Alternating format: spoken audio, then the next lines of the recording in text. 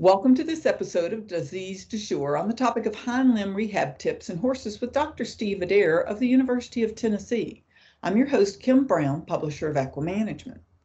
The Disease Du Jour podcast is brought to you in 2021 by Merck Animal Health. Dr. Adair is a diplomate in the American College of Veterinary Surgeons and the American College of Veterinary Sports Medicine and Rehabilitation. He is certified by the American Veterinary Chiropractic Association in Animal Chiropractic and is a certified equine rehabilitation practitioner. His special interests are equine rehab, lameness, and regenerative medicine. His clinical focus areas include equine lameness, rehabilitation, and orthopedic surgery. Dr. Adair holds a bachelor's degree in microbiology, a master's degree in veterinary microbiology, and received his DVM from Auburn University. Dr. Adair had joined us back in February for Disease Du Jour episode 49 to talk about forelimb rehab tips. And today he's joining us to continue the discussion to encompass hind limb rehab tips in horses. So thank you, Dr. Adair, for joining us today on Disease Du Jour. Thank you, Kimberly. I appreciate it.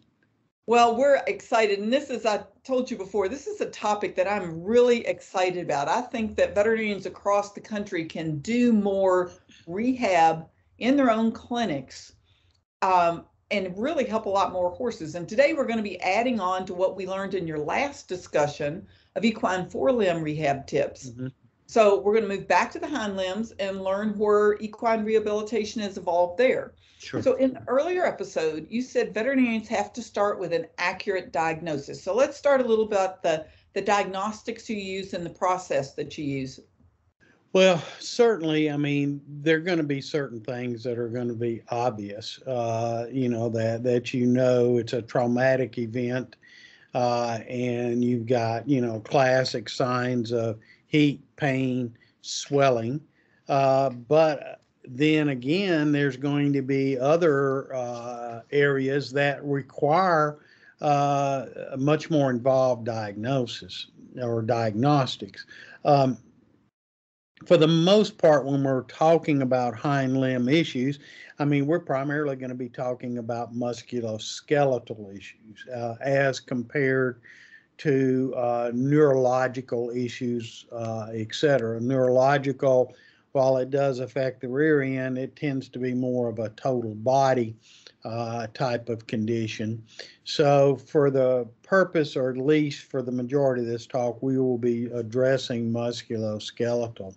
So, you know, again, the most accurate, I mean, the most uh, basic thing is to come up with an accurate diagnosis. And, you know, we're going to, as veterinarians, uh, you know, try to bring in uh, all these bits of information uh, in order to try to arrive at an accurate diagnosis. And that, they, I mean, that starts with history and signalment in your physical examination. Uh, and then once you've passed through that aspect of it, the next is primarily going to be looking for evidence of, of uh, gait abnormalities. Now, I want to I want to differentiate um, is that we have painful gait abnormalities and we have non-painful. And you know, everybody somewhat considers lameness uh, as a painful condition. Well, actually, that's not actually correct you know, a lameness is a gait abnormality or a gait asymmetry. And so, uh, what's your job as a a veterinarian, of course, is to figure out where that gait uh, abnormality or asymmetry is occurring. Uh, as an example, uh, you can have a painful lameness such as a proximal suspensory desmitis, uh, and that's painful. Uh, whereas uh, another case, you may have a uh, fibrotic myopathy, which uh, yes, early on in the disease process, it's it's it's painful, but after that, it becomes a mechanical gait deficit, and so uh, those those are things that that you know we need to differentiate. So you know, it basically starts with a good lameness exam. you know, and you're going very methodical uh, steps uh, for your lameness examination. Well, that's and that's a good point on on getting that good lameness in the history Mhm. all together. Sure. So you had mentioned let's let's delve a little bit deeper into what are some of the most common injuries or specific conditions that you might use rehab for.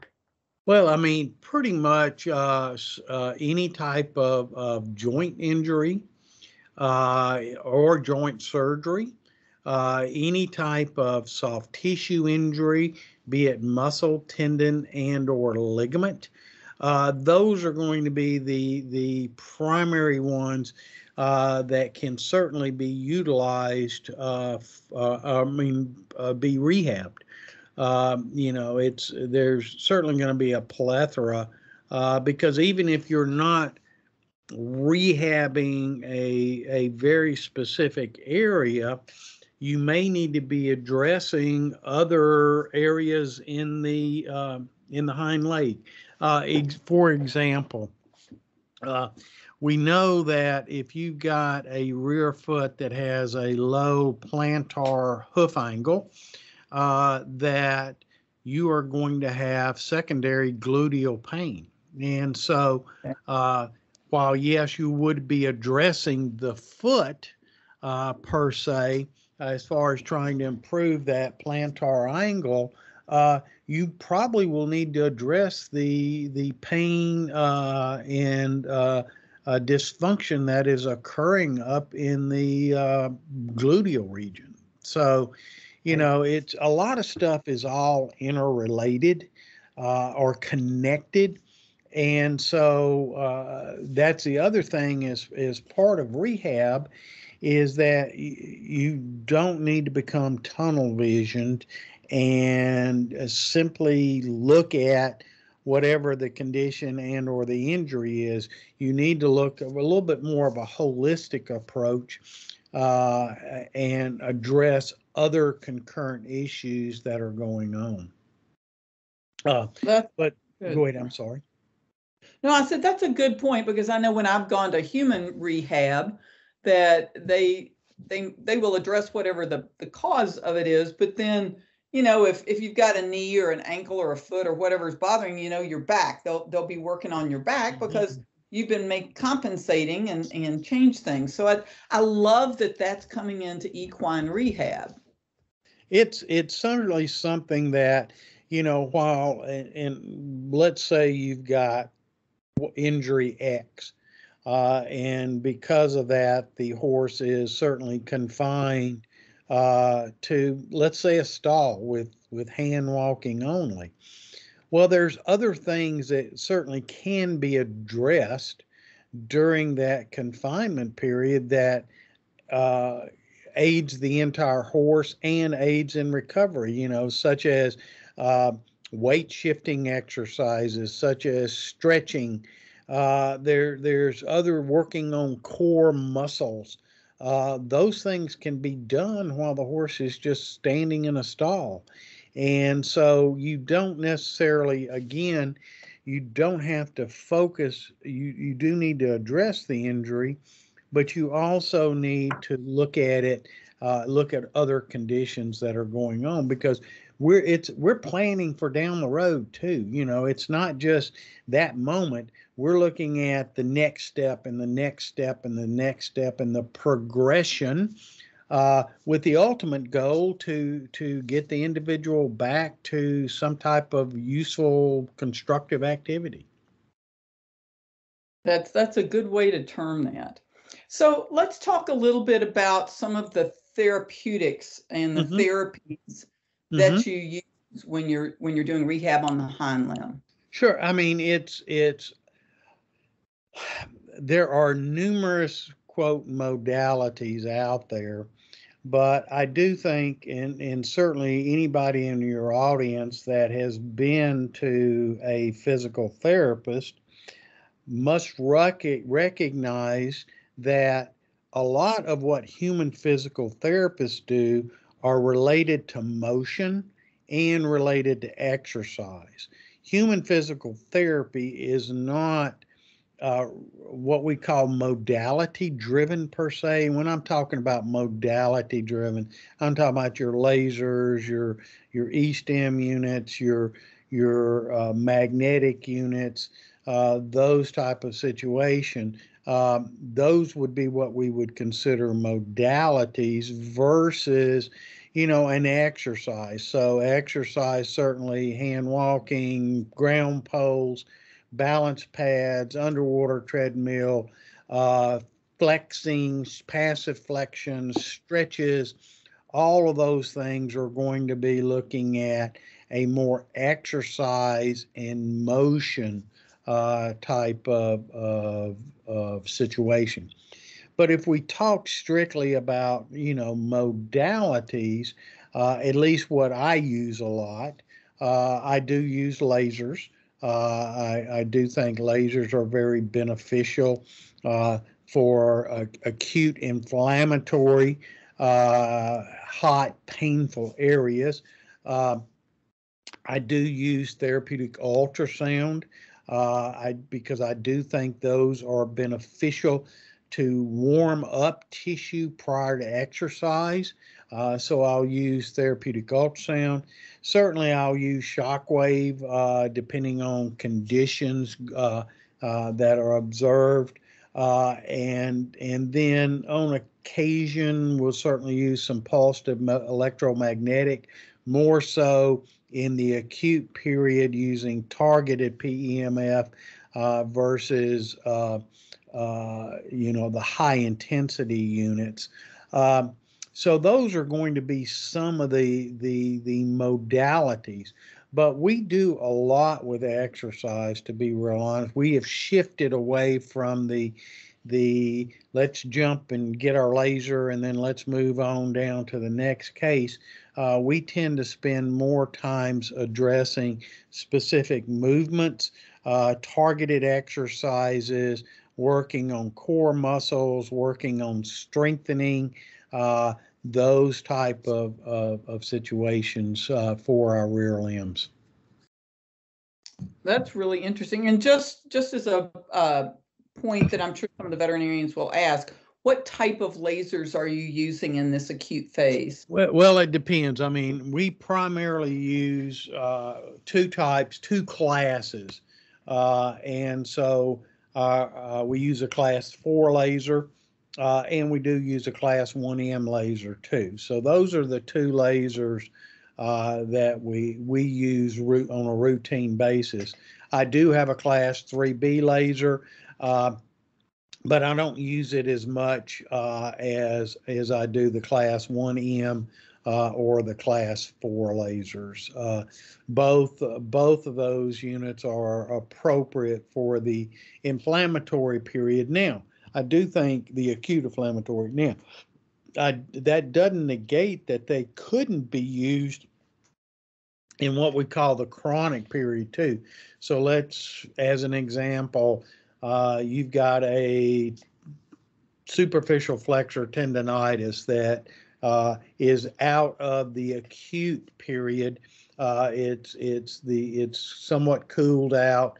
Uh, it's not hot to touch. It's not as painful. So now we're introducing therapeutic exercises for uh, rejoining uh, and uh, to for uh, for strengthening and remodeling those tendons.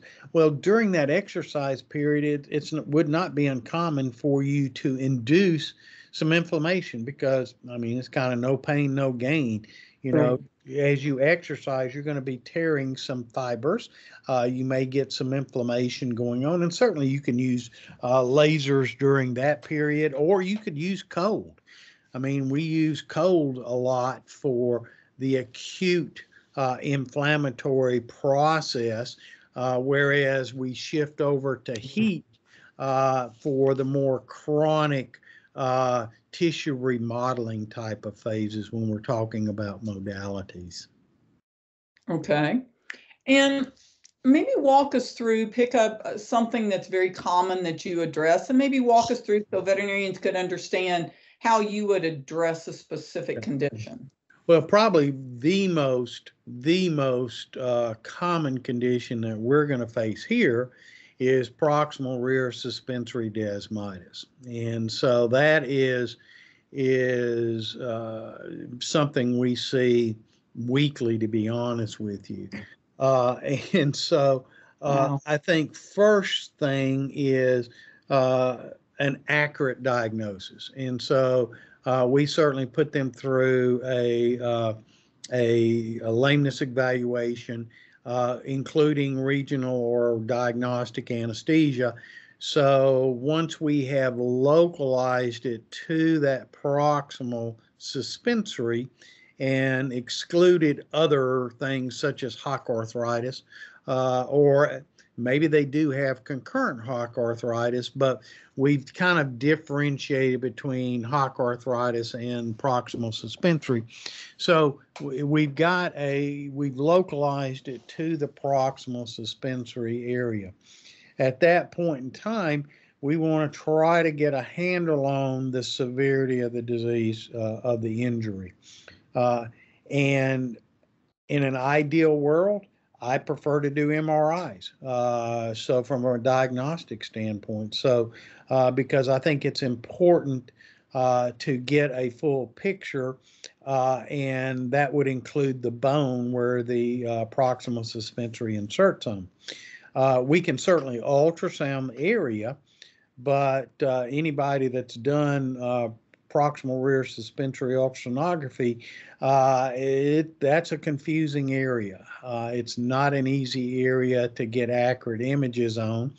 And we also know, uh, regardless of the structures that you're imaging, that uh, diagnostic ultrasound tends to under, underestimate the degree of damage.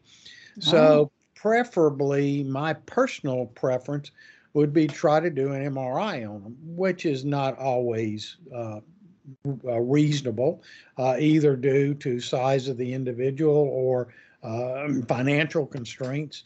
So, with that in mind, certainly we do diagnostic ultrasound on, on them all, uh, just to try to get an idea. then, excuse me, then we um, we do a lot of biological medicine, to be honest with you on these. Uh, and I was going to ask you about that today because I know mm-hmm. that you have a lot of experience in in using some of these biologics. So, so what? When? How do you decide when to use a biologic, and what do you prefer? Uh, I kind of go back and forth. Uh, for a while, uh, my adage was well, if I had a core lesion, I would be putting stem cells in it. Uh, whereas if I simply had fiber disruption, fiber disruption and enlargement, I would be using uh, platelet-rich plasma. Uh, so those were kind of my two go-tos. Uh, my platelet-rich plasma, I was doing three injections at two-week intervals, uh, and then uh, with stem cells, actually I was getting by with just one injection. So I've got I've gotten to the point now to where I pretty much use uh, stem cells uh, almost exclusively on my proximal rear suspensory, and uh, the the reason being uh, from a from a cost standpoint, uh, they work out to be a, about the same. Yeah, stem cells are a little bit more expensive but if you factor in the cost of hauling a horse to us three times on three separate occasions, you know, by the time you factor that those costs in, uh, they're going to be just about equal. So pretty much uh, with most of our cases, uh, we tend to go with uh, with stem cells, and uh, that's a whole nother field and probably a whole nother topic for discussion is the area that's called regenerative rehabilitation. And that's basically when you combine biological therapies with rehabilitation. So, uh, but th- that's certainly a whole a whole different talk. So, uh, after that, uh, we do uh, after I've done biologics, uh, then we certainly do, uh, at that point in time, we usually do some for, form of exercise restriction. Uh, and that's certainly going to be uh, dependent on each individual. Uh, it may range from stall confinement and hand walking to a small round pen turnout uh, Okay. type of situation. Uh, during that period of time, uh, while they're under that exercise restriction, uh, we're commonly going to doing balance pads uh, for weight shifting, uh, basically eccentric and concentric contraction.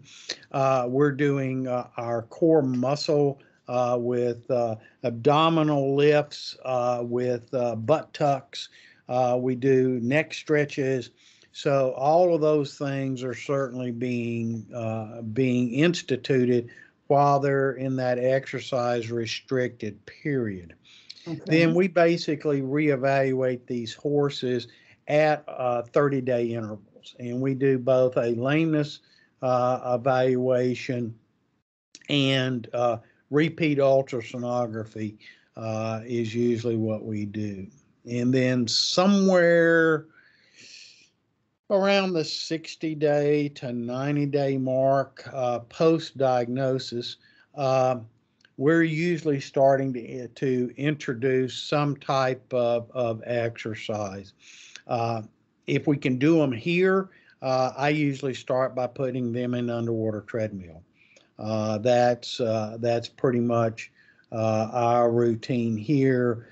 Basically, deep and slow, slow walking to encourage uh, uh, movement and then uh, buoyancy so they're unloading uh, that area.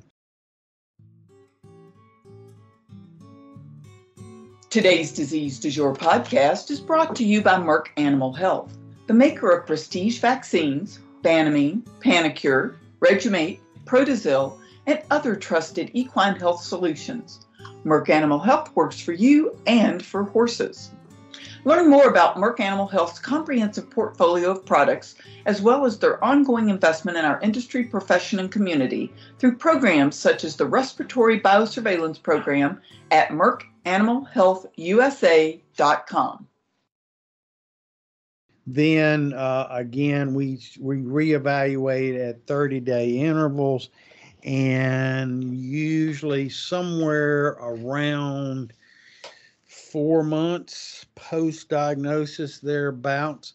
Uh, usually, if they're looking good and the lameness is subsiding and and ultrasonographic appearance looks pretty good, then uh, we'll start in, introducing some riding work. Uh, and so for the first month, we're doing nothing but just tack walking. Um, then we reevaluate, and if they're looking good at that point in time, we'll start adding some trot in. We'll do that for a month, and then we'll uh, somewhere, uh, then we reevaluate, and then we'll add in some canter or lope work uh, do that for a month, and then so we have about a three month, uh, two to three month uh, uh, riding exercise program, uh, and then at that point in time, uh, we're looking at these individuals and saying, okay, they look good. Now that is a time we need to start reintroducing their discipline work. Uh, if I had the opportunity between that four to six month range to do a second MRI, uh, that certainly would be the gold standard to, to look for healing. But oftentimes I, I, I can't do that. It's, it's cost prohibitive. So we tend to go more on clinical signs and, uh, and uh, uh, basically ultrasonographic appearance uh, of these. So hopefully by about the six month uh, post diagnosis, we've got a pretty good handle, and that horse is starting to return to to uh, slow, progressive uh, discipline work, uh, whatever that may be. You know, if it's a barrel horse, uh, they may be nothing more than uh, at at that six month period. We may start them into walking their patterns. Uh, do that for a couple of weeks or so, and then we may add them trotting their patterns. So it's just you know it's it's all a progressive, uh, gradual increase uh, in exercise, and it's very individual dependent. I mean, there's not there's not a recipe. Uh, I can't say do this, do this, do this, and you're going to do that for every uh, patient. Uh, uh, frequent reevaluations, looking at very specific outcome measures, uh, and uh, addressing your rehab plan based on what that individual's doing. And, you know, you may find that maybe they start to digress. Well, if they start to digress, then you're going to have to look back and say, oops, I need to slow it down, or maybe they're not progressing fast enough, and maybe you need to either speed things up or totally change your plan and go to some other some other exercise or some other modality, whatever the case may be.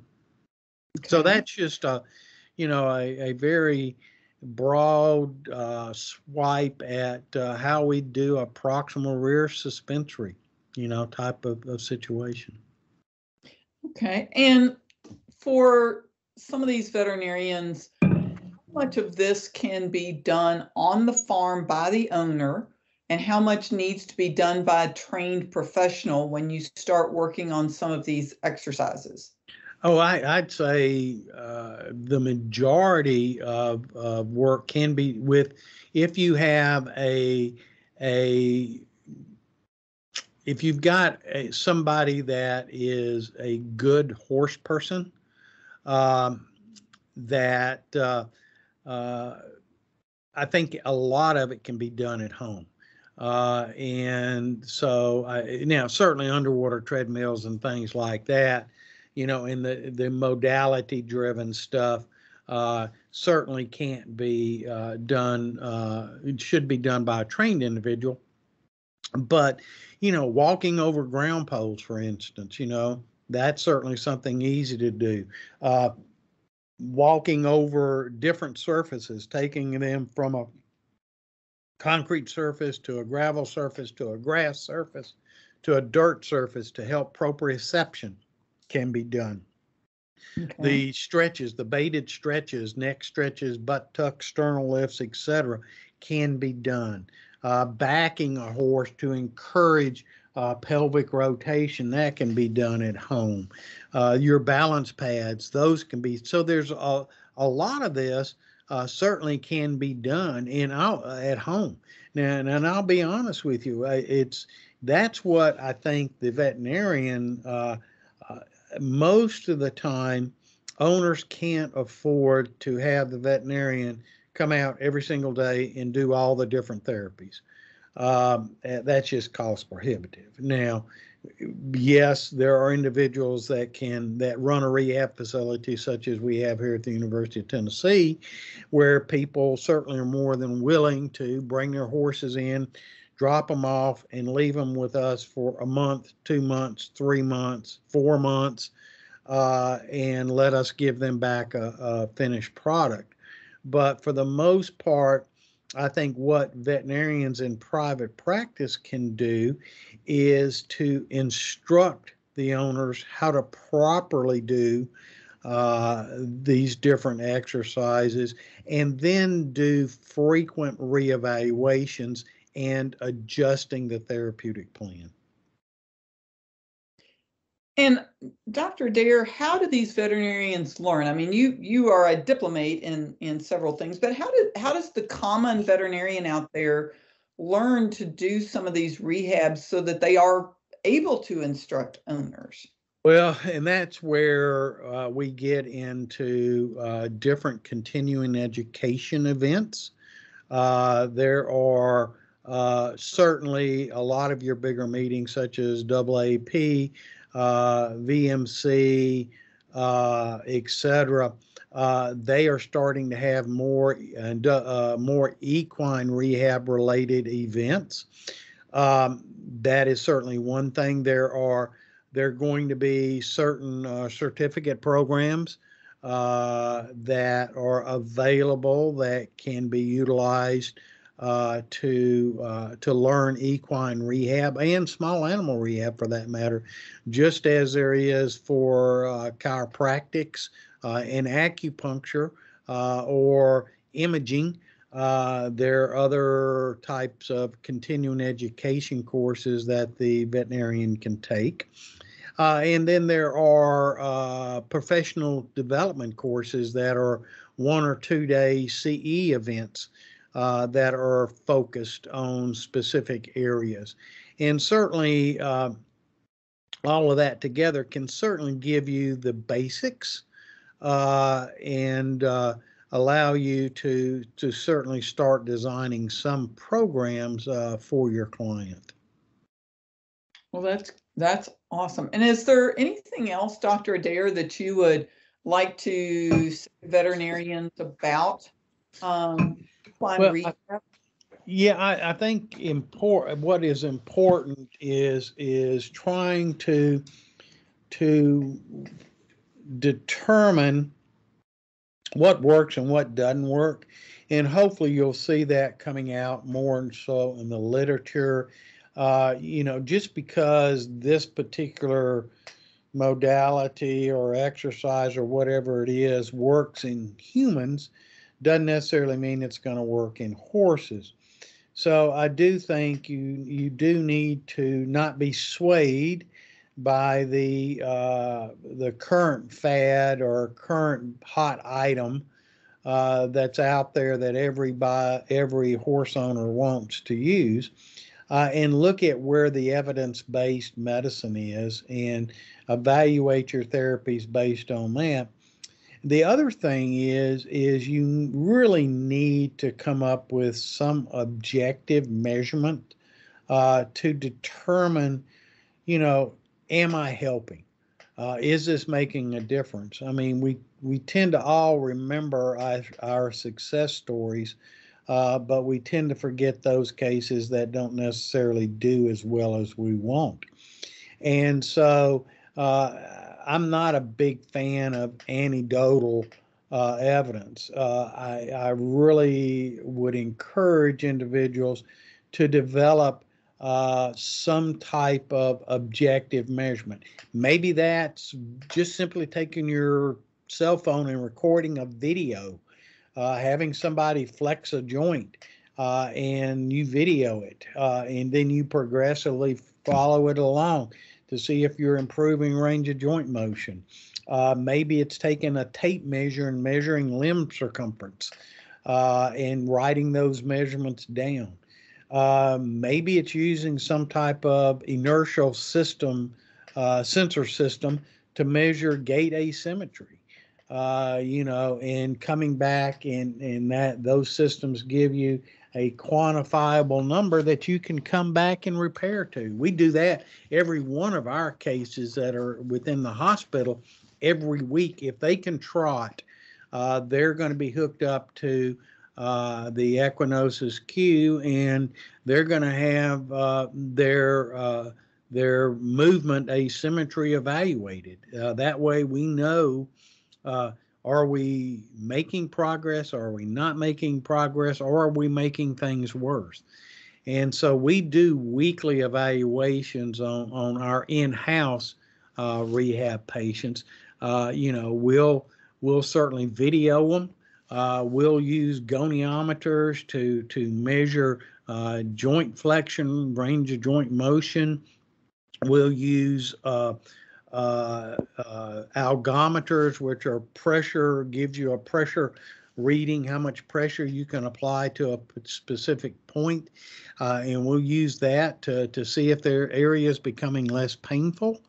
Uh, and then certainly we use radiographs and digital ultrasound, diagnostic ultrasound, et cetera, to also uh, measure uh, how things are going. So developing some type of objective measurement system uh, you just need you need to develop that uh, just so you know how these cases are doing. That's that's a really good point. And i guess the last question i have is on pain management mm-hmm. because you know there are some veterinarians who think well if they're a little painful they won't be moving around as much they won't damage it And there's another group that say, you know, it's our responsibility to control pain in these animals. So Sure. where is that fine line in between that, Dr. Adair? Well, I think from a rehab standpoint, is that if you don't pain in order to to go through the the cascade of events from the time of injury to the time of recovery, uh, pain is going to be in there, and then until you uh, control pain, you're not going to be able to do effective rehab. You're not going to get them uh, moving. You're not going to be able to do effective range of motion, uh, et cetera. So you've got to break the pain cycle somewhere. So that may be uh, via uh, pharmacology. You know, maybe it is using non-steroidal anti-inflammatories. Maybe it's uh, joint injections. Uh, maybe it's injecting SIs. Uh, you know, maybe it's using laser uh, for inflammatory and painful condition. The the bottom line is uh, there's there's two there's two caveats with in in rehab. One is immobilization is not our friend. Uh, it's been shown over and over and over again. Uh, try immobilizing an area, immobilizing a limb, immobilizing the horse uh, is not good. And this is especially true in humans. Think about if you've had hip replacement surgery or you've had knee replacement surgery. My God, that afternoon, it's if not that afternoon following surgery, it's the next day. They've got you up walking around and moving around. Now it's in a controlled circumstances, but they've got you up and they're using they're using a lot of ice, they're using pharmacological agents. They want you up and moving. And the same thing goes with the horse. It has to be controlled though. Okay.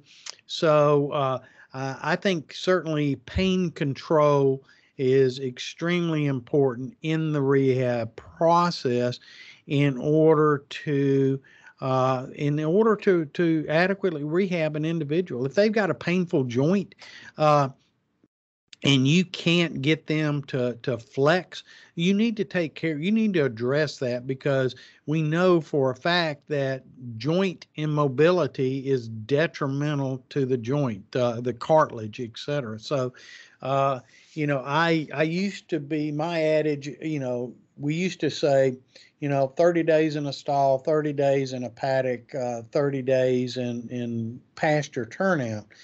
Well, to me, rehab is more than stall rest. And so I really think that uh, uh, controlling pain, instituting uh, mm-hmm. early controlled movement uh, is extremely important. And you said basically that there were um, two caveats in rehab, and the first one says immobilization is not our friend. Not our friend. Uh, is not our friend, and then rehab is more than stall rest. Okay. So that's that's basically that that that's pretty. It all relates back to to motion and moving. Uh, is that uh, we need uh, we can do more for these individuals. Uh, but again, I, I do want to impress that it, it's it's dependent on uh, the individual. I mean, if you've got a tenuous fracture repair, uh, then you may not be able to do motion, but maybe you can do some neck stretches, maybe you can do some butt tucks, you know, uh, those type of situations. There are things that you can do uh, in lieu of just taking them out and running them over poles and stuff like that. So each case is an individual. Okay. Well, we sure do appreciate you adding on to this um, with with this rehabilitation, and and we may come back and uh, ask you again to come back and talk to us maybe about um, some of these other uh, treatments and sure. that that we well, can I mean, do there there's a lot of different uh, from a rehab standpoint. I mean, there's a lot you can do with uh, SI problems. There's a lot you can do with uh, uh, momentary upward fixation of the patella. Uh, there's things that you can do with stifle injuries, uh, fibrotic myopathy. Uh, and then certainly uh, you could, if you wanted to throw neurological cases with rear end ataxia. I mean, there's a lot of different different conditions that potentially can benefit from uh, some type of rehab uh, process. Well, we again, thank you so much, Dr. Adair. I, Sure. I love sessions, and I, I hope we are able to uh, help more veterinarians become more interested and involved in this on behalf of their horses and owners. One one other thing, Kimberly, just to, just to throw out, and you ask what can veterinarians do uh, to to learn some of this thing. If if you, I mean, let's not forget that just about every town has a human physical therapist uh, in that uh, area. And certainly uh, contacting a human physical therapist and just asking uh, for some tips from them. Uh, you you be um, it, it's amazing to me when I when I because I teach with a human physical therapist also. It's amazing some of the stuff that they are taught uh, in PT school. So I certainly wouldn't hesitate to recommend uh, find a human physical therapist in your area and pick their brain. Uh, you might be surprised on what kind of guidance that they can use uh, give you. So just another, just throw that, That out. is a great tip. Yeah, and that's some, as you said, there's a there's a physical therapist in just about every town. So that would Mhm. be a nice spot if you can't get out to get some Oh, sure. some Sure. veterinary. So, Yep. well, we want to thank you again, Dr. Adair, for for joining us today, and we want to thank our listeners for being here for Disease du Jour, and a special thanks to our 2021 sponsor, Merck Animal Health. We invite our listeners to rate our episodes of Disease du Jour on iTunes, SoundCloud, Stitcher, or wherever you like to listen to your podcast. And if you have any questions or suggestions for topics, send an email to me at kbrown at equinenetwork.com. The Disease du Jour is a production of the Equine Podcast Network, an entity of the Equine Network, LLC.